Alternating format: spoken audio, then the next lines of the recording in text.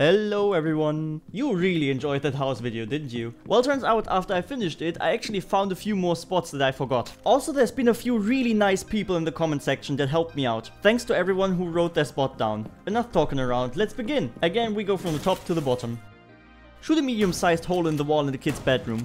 Now step into the closet and punch a small hole into the wall there. If you do it accurately enough, you can cover both windows. If you make your hole in the very right, you can even snipe the people on the tower. You can even take it one step further and increase the size of the second hole. After that, you demolish the wall behind you. Now you can cover the windows through effectively three walls. You can make the first two really big and the last one with just one punch. It will still look very overwhelming for everyone who peeks in. The same window can be reached from the master bedroom. Just punch a murder hole into this window and peek through. It is fairly hard to notice from the distance. And don't forget that you can make a peek hole from the bathroom all the way into kids. Do you know the feeling when you want to breach into the bathroom and there's someone sitting behind this indestructible wall? This is how you counteract. The easiest way would be with Ash. Use your grenade launcher and shoot this wall. After that he is exposed. But you don't need Ash. You can just spray the wall and get a lucky wallbang. You can even wallbang from below. The spot is right here in the office. Well, we can do that even cheesier. If you go from the office into the dining room, make a gap in the top right corner of the ceiling. Now throw a grenade and it will land just right.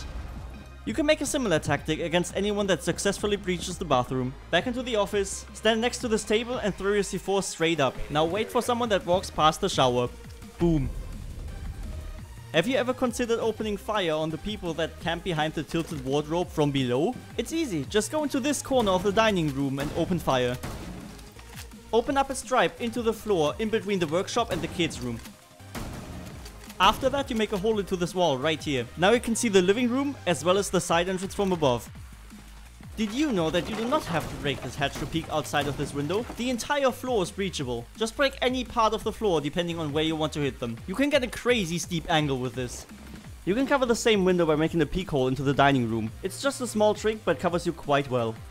Break the ceiling in the living room right next to the TV. Let anyone who walks out of the side of the workshop have a nasty surprise. We're halfway through now, and here's a Valkyrie octopus. If you break a wall in the lobby next to the bookshelf, and then go upstairs to break the hatch, you can see the entire lobby as well as the front door, while having minimal exposure. If you instead jump onto the bookshelf, and then shoot a hole into the wall right next to it, you can very easily kill anyone walking up the stairs. Nobody will see the hole because it sits in such a weird angle. Cover the double windows in the dining room from the side stairs. Just walk down and make a murder hole right here. As soon as the attackers enter, they will not expect to be shot from that side. Cover the side entrance by crawling behind this table. Just smack a single hole into it and keep your eyes on the door. Did you know you can see the entire north side of the garage if you shoot open the floor next to the lobby stairs? Depending on how much you open, you got a lot of room to work with. Here's one that works especially well when you've got the bombs in the living and the training room. Make a hole or throw C4 onto the floor in the middle of the doorway. Now you can sneakily kill anyone that tries to enter from below. You can cover the laundry room entrance in the basement from the living room on the first floor. All you have to do is open the hatch. You can make this one extra cheesy by making a hole underneath the pool table. You can even see a little bit further in. You can even break the walls to the side to see a little bit more. If you peek the same hole from the gym, you can see all the way into the garage. By relocating yourself a little bit, you can get a really cheeky angle onto the gym entrance.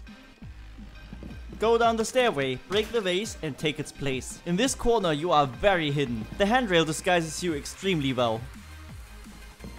As a defender, use a shotgun to blow open this wall on the opposite side of the staircase. Then do the same in the laundry room towards the garage. Hop back onto the stairs. Now you can pick a very long distance fight with anyone trying to enter the garage from the southern side. Here you can see the potential coverage from this spot. And last but not least, this is more of an advice. If you get the feeling that you get spawn peeked on the docks, just carefully lean and peek as you are walking up the stairs. Alright, that should pretty much be everything. I did not expect I get so many more spots after I've done the first video. If you learned something new today, why not give me a like? If this video was absolutely useless to you, feel free to dislike it. If you want to see more of those, you can subscribe, I've got more Killspot videos coming up. So yeah, thanks for watching, and until next time, See ya. One on stairs.